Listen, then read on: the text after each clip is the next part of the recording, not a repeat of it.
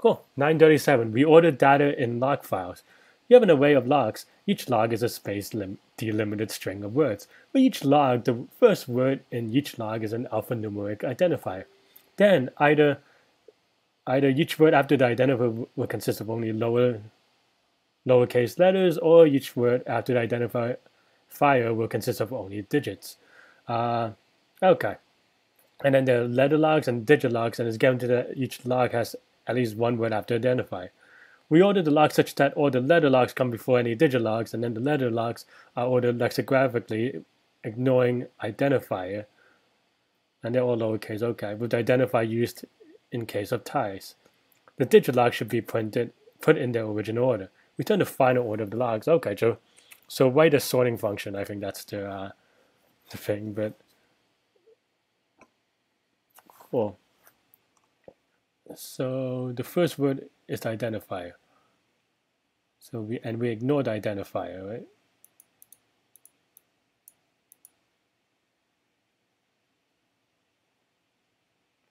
Okay, we put all the letter logs first, and then the digit logs we ignore. So the or like not ignore, but just put in the back. Um, so that's kind of we have to make sure that it's uh what's it called stable sort. Uh, I mean, I think we don't even. Hmm. We go. So that's probably around it. Can, can we just do something like uh, key is equal, key is equal, where um, hmm.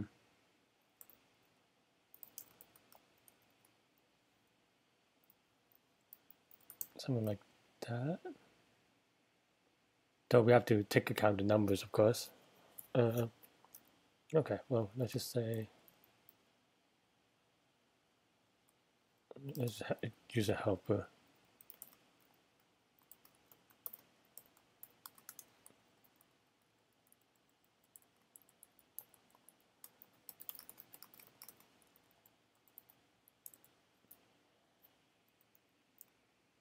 Ignore the identifier. Oh, the identifier is used in ties. Okay. Hmm. Okay.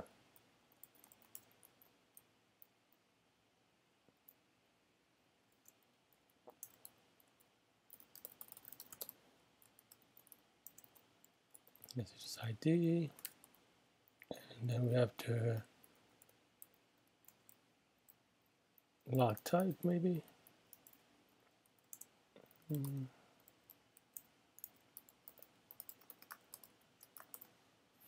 we probably should cache this in theory so we don't keep doing it but uh, maybe I mean 400 is fast enough anyway so like I'm gonna be a little lazy but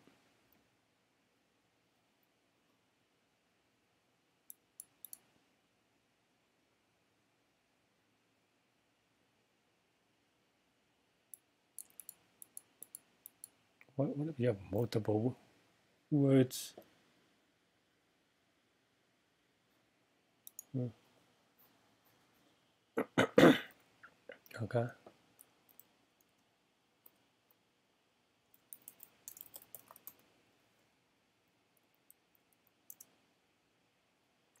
So, okay. So now if identifier, let's just say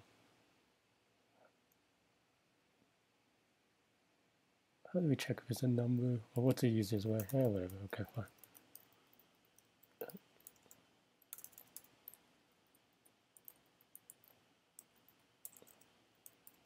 Let's say it's between, then return. Let's go silver. Putting in the front. Uh, oh no, I want the log type um, then we do log type and then identifier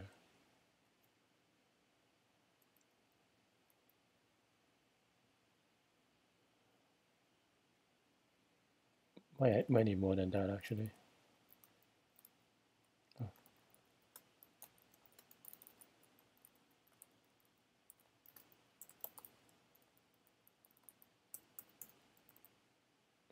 hours is a number, so we actually just want them in the same order. Uh, hmm.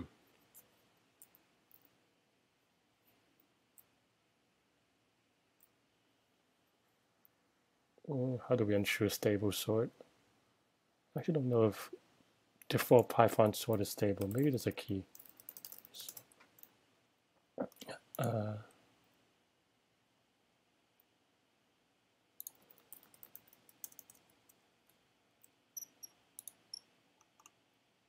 hmm. I guess it's stable by default, so we could actually just return the same key and hope that that works. All right, let's let's give it a try.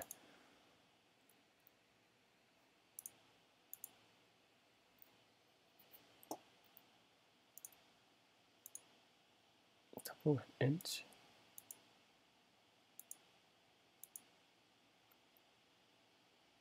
I mean, the different signs tuples, but maybe that's does that make it a tuple?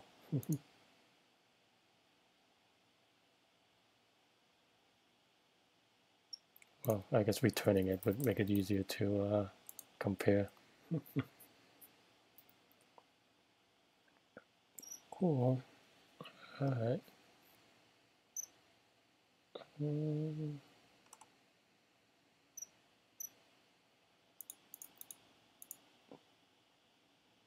Not sure I trust her. Eh, okay, whatever. Let's just go. I was going to put in more test cases, but maybe it'll give me an edge case. Okay, cool. Actually, we put, did pretty fast on the timing. a little surprised, but I mean, it's just very funny. Um, and definitely we could have um, we could have uh, cache some of this word stuff, but um, but when n is equal to 100, it's I guess it's not that big of a deal. Um, cool. Uh, so yeah, so this is a sorting problem. Uh, you can actually implement sorting in a number of ways. Um, you can actually, uh, and I think probably in theory, slightly easier to understand uh, is having a comparator. Uh, you just basically compare two um, two items, uh, and then you just go for the rules to see which one should be in before. Uh, not sure how. Again, so the key thing that um, and, and that should be good enough, which is not what I did, but that should be good enough. Um, I think one thing that uh, maybe is language specific, and that's what I googled to learn a little bit, is where the uh, sort is uh, what is called a stable sort. Uh, and a stable sort means that um, given two things that are the same, um, the thing that came earlier uh, will remain earlier. Um, and that comes into play when like two things like have the same weight, if you will, or the same value, even though they have they're different, right? Uh, like let's say you're I don't know sorting by height, you know Bob and Larry has the same height, but you, you if you sort it, you still want the person who was early in the in the list to come first, and you, then it, there's a difference between Bob and Larry in that case. So that's a stable sort. Um, what I did is uh, I actually used uh, sorting by a key, which basically uh, maps each item to something that it could be sorted on. Um, and that's that's something that uh, I think maybe just comes a little bit with practice, uh, but definitely, definitely, uh, essentially that's what I did. it's a short story, but um, but and the reason why this works is that um, and it, a lot of this is very hard codey. Uh, so if you're on an interview, definitely explain this a little bit, or maybe just do it the the more straightforward way. Uh, but the, the, the, uh, what I take advantage of that is that um, uh, yeah, um, what I take advantage of is that uh, in Python specifically, I mean, it may be the same in different languages or similar anyway, because uh, with type languages, it's probably not the same same, but um, but it sorts uh, tuples by kind of um, like element by element, and so I so I put all the um, all the characters one first by giving it a zero prefix and a one prefix for all the numbers. Uh, and for this, uh, because all the numbers uh, have the same value, uh, you or like the same weight in the sorting, uh, I just put as none. Um, where in this case, um, yeah, I mean, well, sorting on keys is clearly right in that I submitted this already. Don't know if you saw this. Hey, Johnny, uh, welcome back to the chat though. Uh, but, uh, the reason I did this is that uh, well, log type here, I think it's something that's not clear is uh, or may not be clear is that log type is actually the uh, the entire suffix of the strings uh, or of the words. So in this case, it's not just um, it's not just one word; it's an array of words, and then it on arrays for Python, it also goes element by element, um, and then identifies the type typebreaker, assuming all the log types, which is all the suffix of words, are equal.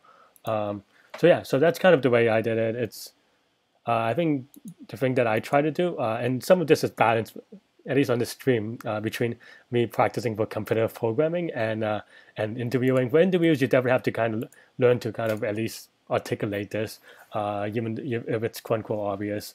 Um, and that may be a little trickier, and it affects how you write the code because you. I think you want to optimize for writing code that is readable by your interviewer, which is very important, and able to explain as you go along.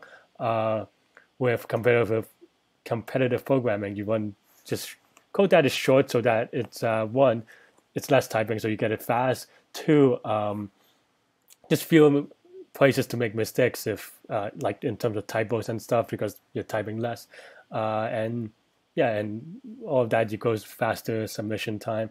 Uh, in terms of how I mean, I think this is a sorting problem. I think sorting problems are very fair game for interviewers because it's just a, usually what they want you to do as an interviewer is just write a comparator function in which they already give you all the rows, so you just have to file the rows and translate rows to uh, to a function. Uh, so yeah, uh, I mean overall this is n log n you can't really get faster than sorting. I mean maybe you could do some kind of bucket e things, but but uh, but that's kind of you could say it's output sensitive or alphabet sensitive, depending on how, how uh, what kind of linear quote unquote linear sorting algorithms you use. But um, but yeah, and I don't use extra space except for maybe in memory, depending on how sort is implemented. But that's also uh, dependent on